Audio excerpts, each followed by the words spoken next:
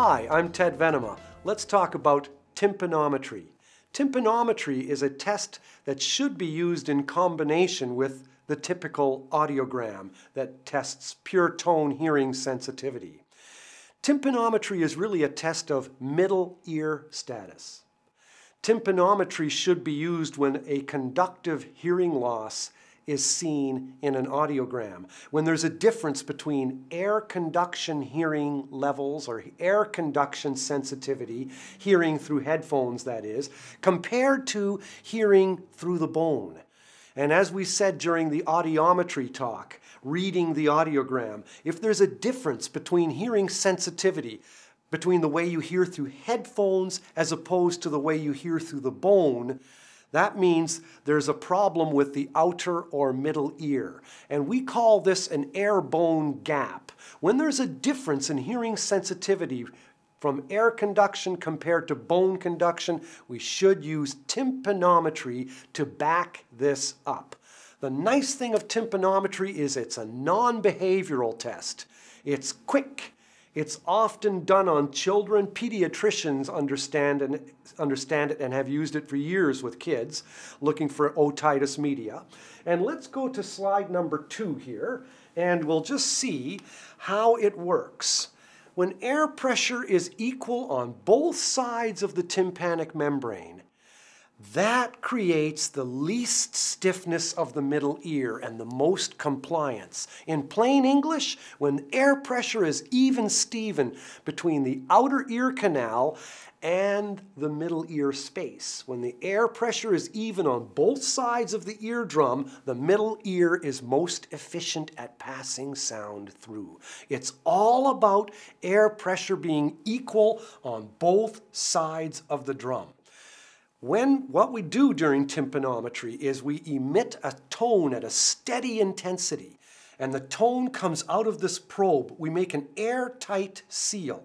You'll notice there's three holes in this probe. One is a little speaker that emits a tone. The second one is a microphone that measures what sound is bouncing back off the eardrum. And the third little hole is an air pressure changer. It changes air pressure from positive to normal to negative. so you're making positive to a vacuum. And so the probe speaker emits out a tone, the probe mic picks up whatever bounces back off the eardrum while the air pressure changes from positive to negative. And we want to find out at what air pressure does the least amount of sound bounce back? That is, at what air pressure does most sound go through? Because remember, it's all about the air pressure being even on both sides of the drum. If this happens, if most sound goes through the ear canal or through the eardrum into the middle ear, if most sound goes through that way, when air pressure in the outer ear canal is at room air pressure, this must mean, therefore, that the air pressure here is room air pressure. So therefore, tympan tympanometry measures in the outer ear canal can tell the status of air pressure in the middle ear. It's amazing. It's, it's, it's a really interesting, quick test. Takes about five minutes maximum. And that's why the test is, is also of value. It's really a test of middle ear efficiency. If the air pressure is even Steven on both sides of the drum, most sound will go through. And if that most sound goes through when this air pressure is at room air pressure, then we know air pressure in the middle ear space is room air pressure. Here's what the tympanogram looks like, kind of like a pup tent. This axis here shows negative room air pressure and positive air pressure. The vertical axis shows middle ear compliance. Remember, the middle ear is a stiffness-dominated system. There's very little mass in the middle ear. The middle ear ossicles are the smallest bones in the body. The middle ear is quite a stiff system. So we're, use, we're trying to find out at what air pressure is the, is, the, is the middle ear most and least stiff. And we tell that by the amount of sound that's bouncing back off the drum. So we begin at positive air pressure in the ear canal. Positive air pressure with that airtight seal with that probe in the ear canal.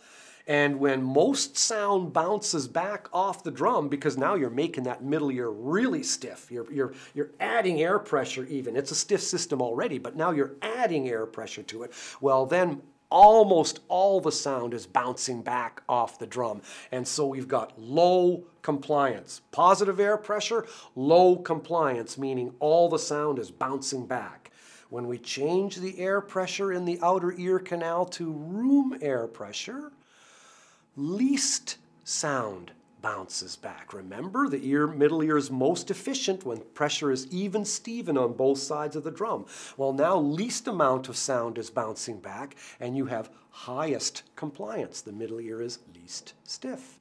When we continue now to make the air pressure negative, once again, we're returning to an unhappy status. We're stiffening that middle ear system again, even more, and we have low compliance. Once again, all the sound is bouncing back off the drum. And clients can literally hear this. When you're getting a tympanogram done, you'll hear, You'll literally hear it.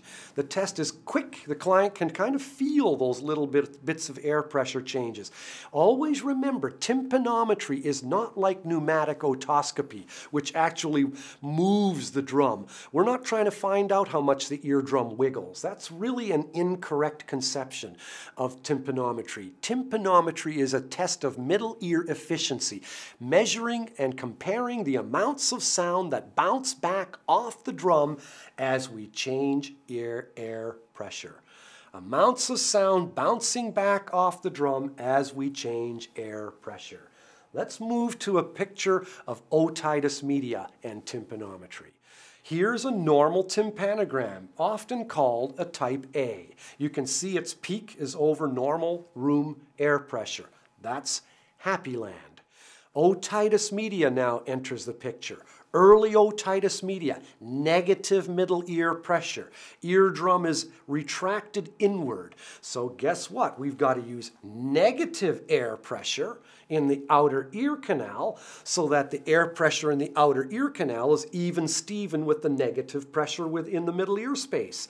So now we've got to use negative air pressure in order for least amount of sound to bounce back, for the middle ear to be most compliant, least stiff. And this is called a type C tympanogram.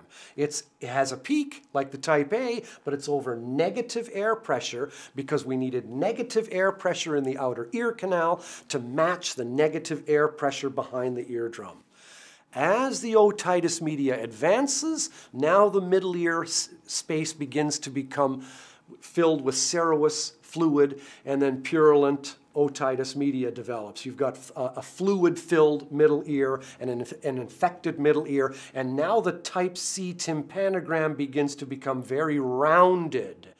And finally, you've got a flat tympanogram, a type B, showing no peak whatsoever because, hey, changes of air pressure in the outer ear canal are no competition for pus behind the drum. No amount of changes of air pressure in the outer ear canal is going to counteract the fact that now the middle ear space is filled with fluid. So a type A goes to a type C with early otitis media and then transitions to a type B showing advanced otitis media. And again, tympanometry is done so quickly, it's unbelievable. That's not the only thing it can talk about. This last slide shows tympanograms associated with normal hearing and otosclerosis. As we know, otosclerosis is a soft, porous growth of bone around the footplate of the stapes in the ossicular chain.